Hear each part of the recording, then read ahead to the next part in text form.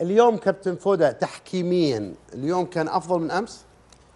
والله بالنسبة للحكام الأجانب الحكم اللي حكم مباراة الهلال وال- والرايد أمس كان كويس واليوم أيضا اللي حكم مباراة النصر والاتفاق كان حكم جيد. إيش إيش الميزة اللي كانت فيهم الميزة بالنسبة لحكم مباراة أمس حقيقة ظهرت شخصيته من بداية المباراة استطاع أن يطبق القانون بشكل جيد لم يتقبل اعتراض اللاعبين عليه منح البطاقة الصفراء في الدقيقة 14 ومنح بطاقة صفراء أيضا أخرى في الدقيقة 74 لياقته البدنية كانت عالية تحركه في الملعب كان قريب من جميع الألعاب داخل منطقة الجزاء. حقيقة كان مستواه جيد جدا وحكم يستفاد منه. حكم اليوم أيضا سيمون مارسيناك كان حكم جيد جدا أيضا لكن في بعض الملاحظات عليه اللي هو ما اتخذ فيها بعض القرارات اللي المفترض أن يتخذ مثلها. لكن أنا أنا خلي- بوجهة خلي- نظري حكم أنا كان أجل. منكم كنتوا تختاروا لنا أفضل حكم أي نعم. في دور ال 16 أنت اخترت مين؟ اخترت الحكم السويسري حق مباراة الهلال والرائد ساندرو شاير. أي نعم. شاير بير. نعم هو اللي اخترته أمس. هو اللي تكلمت ليه؟ طب عنه. ليه اخترت هذا الحكم؟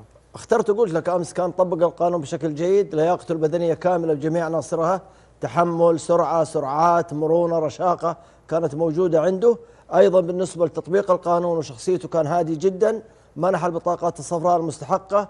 نجح في الألعاب داخل منطقة الجزاء لوجوده بالقرب واستفاد من لياقته البدنية. أيضا فرض شخصيته بعدم قبول اعتذارات أو اعتراضات اللاعبين كابتن سمير عثمان رحب فيك أبو محمود و الله يعينكم على البرد. عاد أنتم جايتكم موجة باردة صعبة في مصر هالأيام.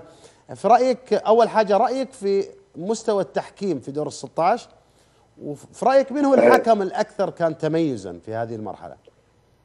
أنا بناء على المباريات اللي أنا آه، تابعتها آه، في خلال دور ال 16 في الكأس أنا شايف سلطان الحربي أفضل مستوى بالنسبة ليا لعدة أسباب أول حاجة آه، نفتكر ماتش الشباب وضمك اللي اداره سلطان الحربي لم يعتمد تماما على الفار. كان الفار فقط مساعد ليه وده إحنا افتقدناه في حاجات كتيرة جدا إن الحكام بيعتمدوا على الفار. لكن سلطان الحربي في المباراة لو نتذكر كانت أول مباراة في دور ال 16 كان بيعتمد على نفسه والفار كان مساعد ليه. جات له ثلاث اختبارات صعبة جدا داخل منطقة الجزاء وكل الاختبارات نجح فيها. تركيزه العالي خلال ال 90 دقيقة في المباراة. بدا المباراه بتركيز ونهاها بتركيز برضه عالي جدا علاوة عن آه، لياقته البدنية اللي كانت ممتازة وقدر يقسم المجهود بتاعه خلال ال 90 دقيقة. علاوة طبعا هو بيبقى عنده برضه إيه آه، هدف معين إنه عاوز يثبت للجميع إنه يستحق يكون موجود في القائمة الدولية السعودية. فمن وجهة نظري السلطان الحربي هو الأميز في دور ال 16